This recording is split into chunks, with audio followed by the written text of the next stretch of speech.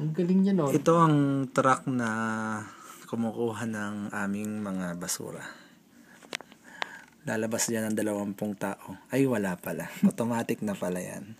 So, Ang galing, ano? okay, so that's it. Tug. Galing. Sobrang kapal ng snow sa labas.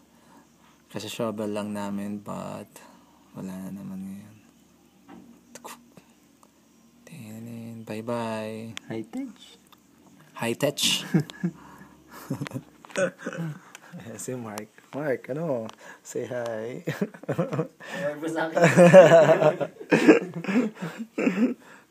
Ay, nako. Grabe.